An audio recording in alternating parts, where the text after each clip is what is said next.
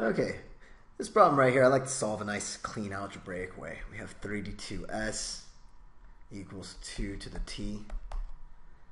Okay, we have quantity A, quantity B, we have s over t, and we have 1 fifth. Clean algebraic way is this. Look, when you have exponents and you want to compare them, you have to make sure the bases are the same. So they're my exponents s and t. These are guys are the bases.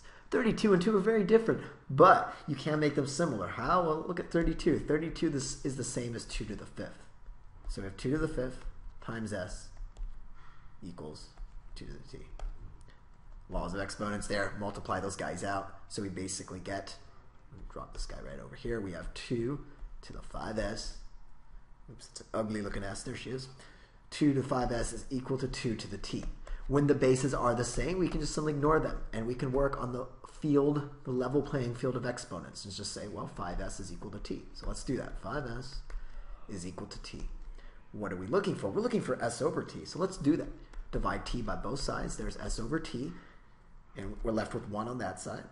And we want s over t like that by itself. So we're going to divide this side by 5. That is divide both sides by 5. And we get s over t is equal to 1 fifth.